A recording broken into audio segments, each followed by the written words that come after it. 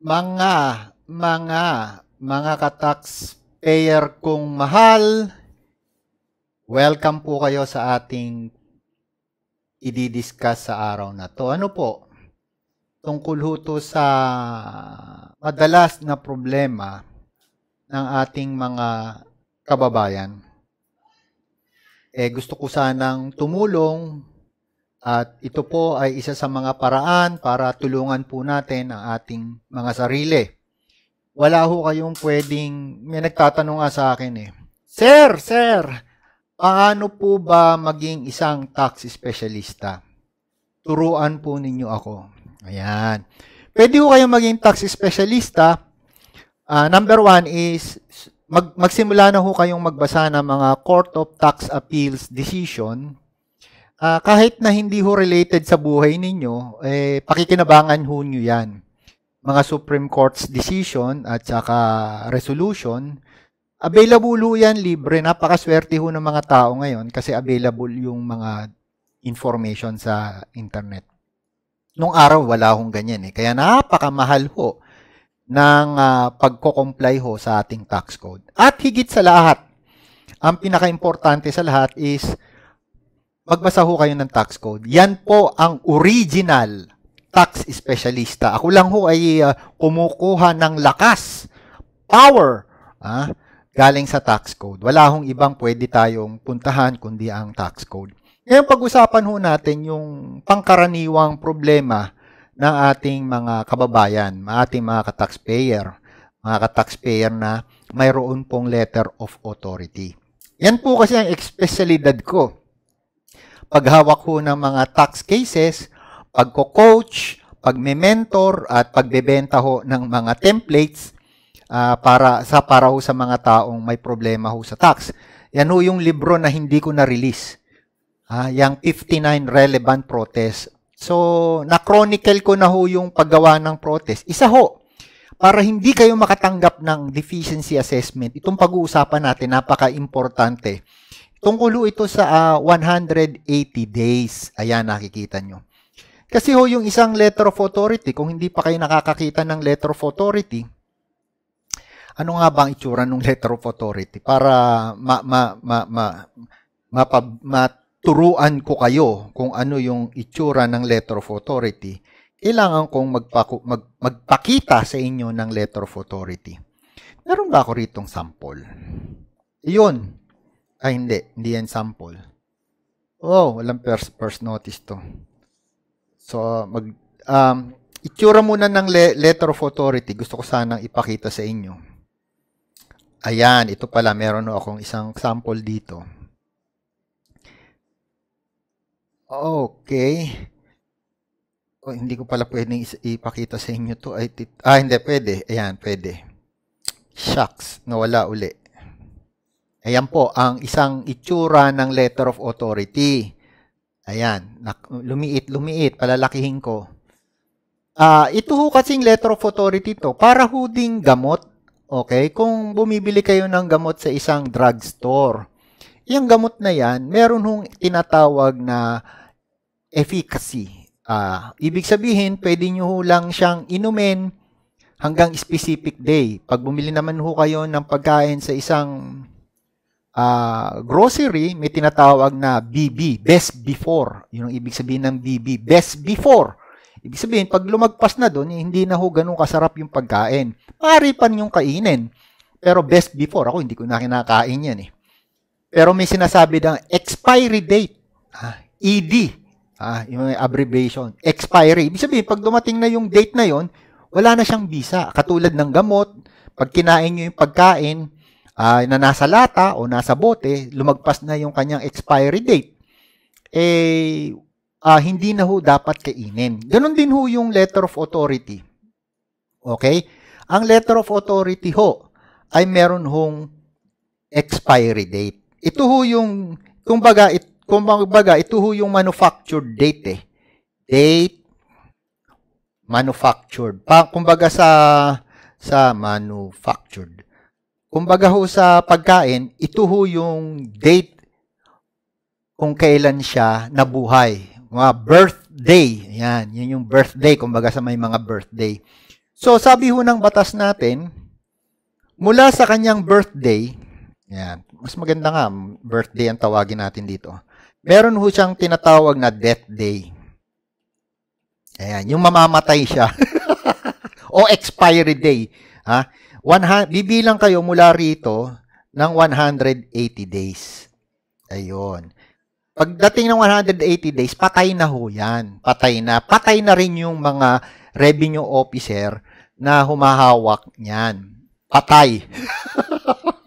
Patay yung mga revenue officer.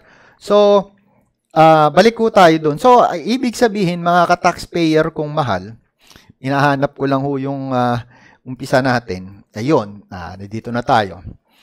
Meron ang uh, nakasulat po 'yan.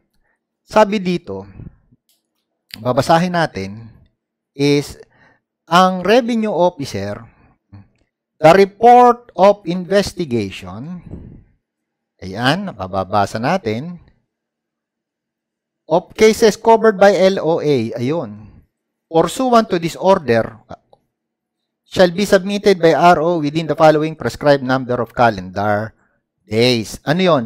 For regional cases, ibig sabihin ho ng regional cases, ito ho ay pirmado ng Regional Director, RD. Ayan. Pirmado ho ng RD, Regional Director. Meron ho silang 180 days. Ayan. 180 days from the date na nakasulat doon sa letter of authority. Anong mangyayari kapag lumagpas na yung 180 days? Yun yung ano eh, yun yung madalas na itanong eh. Sir, anong gagawin pagkalagpas ng 180 days? Eh di tanungin natin, anong mangyayari? Sabi ho dito sa binabasa nating uh, kung meron ho kayong pagkakataon, paki-download nyo lang ho yung RMO. Ayan. RMO. Revenue Memorandum Order 19-2015. Kung mapapansin nyo ho dyan, ang nakasulat dyan eh, this order shall take effect immediately. Para ho dun sa mga uh, kasama ho natin ngayon, please, okay, puntahan nyo ho itong aking uh, dashboard.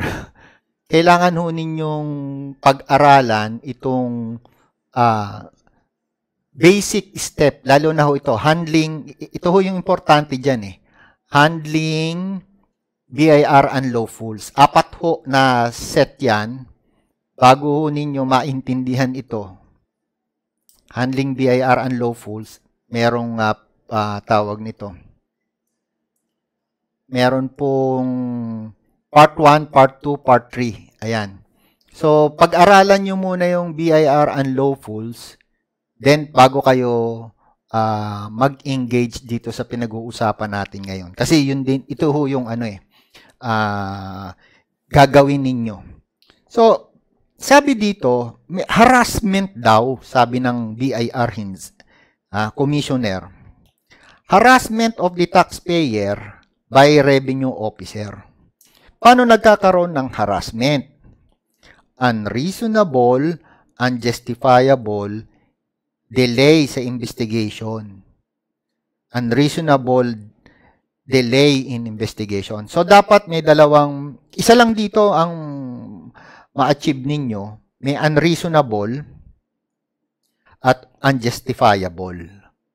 So, ini-establish yan, sir, mga bossing. Paano nagiging unjustifiable, paano nagiging unreasonable? Tuturuan ko ho kayo niyan. May apat hong, ang, ang ang ginagawa ho natin kasi dito is uh, kailangan nating turuan yung mga revenue officer na gumalang, irespeto yung karapatan ng mga taxpayer.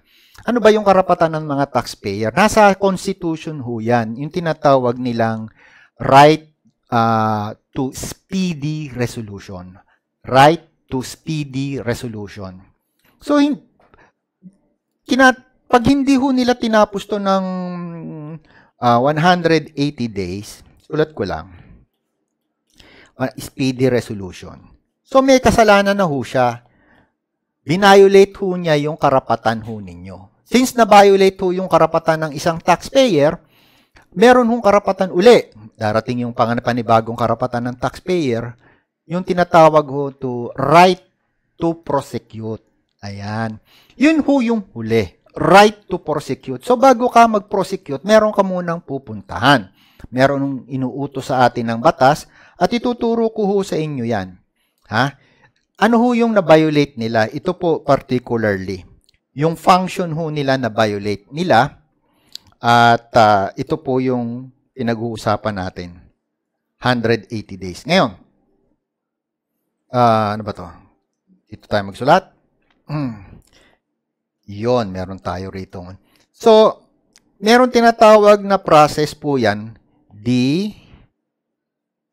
ayan, D, I, W, P. Tandaan ho nyo yan. D, I, W, P. Anong ibig sabihin ho nung D? Detect. I, inform. W, warn. And P, prosecute.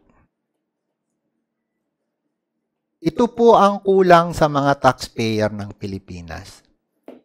Wala ho silang uh, kakayanan, kaalaman, paano ho nila i-exercise yung kanilang right. So, ako po ay willing hong tumulong sa lahat ho ng merong letter of authority na beyond 180 days na ngayon at wala pa rin kayong notice of discrepancy, wala pa rin kayong pro, uh, preliminary assessment notice, wala pa rin kayong uh, formal letter of demand. Na-violate na po ang inyong karapatan. Since na-violate na ho ang karapatan nyo, ang korte ho ay sasaklolo sa inyo. Sabi ho ng Supreme Court, kailangan ang mga courts ng Pilipinas ay saklolohan ang mga taxpayers na merong letter of authority. Paano sa saklolohan kung hindi natin i-involve ang court? So para ma-involve natin yung court, kailangan nating gawin muna tong apat na paraan na ito. Detect, inform, warn, prosecute. So sa araw na ito, ituturo ko sa inyo yung detection. Detection. So, madali lang naman yung detection. Madali lang. Sinabi ko nga, yung letter of authority may date date of issue. Yun. So, yung date of issue, katulad na September 1, 2020. O di bibilang kayo ng 180 days mula September 2 o, hanggang 180 days. So, ang susunod na gagawin mo dyan, gagawa ka ngayon ng uh, request for NOD issuance. Yan ang muna. Kailan mo gagawin yon? Doon sa day 170 or hanggang 179. Between that day, gagawin mo. So, pag gumawa ka ng request for NOD issuance, walang na-issue. Dumating na yung day 100, 180, gagawa ka ngayon ng final warning before suits. Marami ho kasi, kasi marami kayong pwedeng ikaso sa isang revenue district officer, sa isang um, revenue officer, at saka sa group supervisor. So, tuturuan ko ho kayo noon paano sila kasuhan using um, tawag nito uh, 180 day. Pag nakasuhan ho sila, masususpindi yan or makukulong. Okay? So, ang gagamitin ho ninyo rito ay yung section 275 ng tax code o yung section 269 letter H ng tax code din. Ayan. So, kung gusto po ninyo ng template, pwede po. Okay? Pwede ho kayong kumuha sa amin ng template para kayo na gumawa. Bibilin lang ho nyo yung template. Pero kung gusto nyo ipa-customize, pwede din po. Wala namang problem ho yan. So, ano ho magiging, ano benefits ho nyo rito? Ah, madami. Ang benefits ho ninyo rito is no assessment ang mangyayari. Kasi matatanggal yung revenue officer. So, no deficiency tax. Oh. No no criminal charge. Eh, siyempre, sino magki-criminalist charge sa'yo kung wala na yung revenue officer? O, di ba? Tapos, uh, maaring ma-expire yung right ng BIR assess tax. A tax. O. So, yan ho yung benefits. Magkakaroon din ho kayo ng uh, peace of mind. Diba? Peace of mind. And of course, na-help nyo pa yung government natin na assist ninyo para matanggal ho, remove yung mga gross incompetent incompetent at saka yung pong tinatawag nating negligent. Ayan, mga revenue officer. So, willing po yung grupo namin na tumulong sa inyo. Yun lang ho sinasabi ko sa inyo. I-assist namin kayo.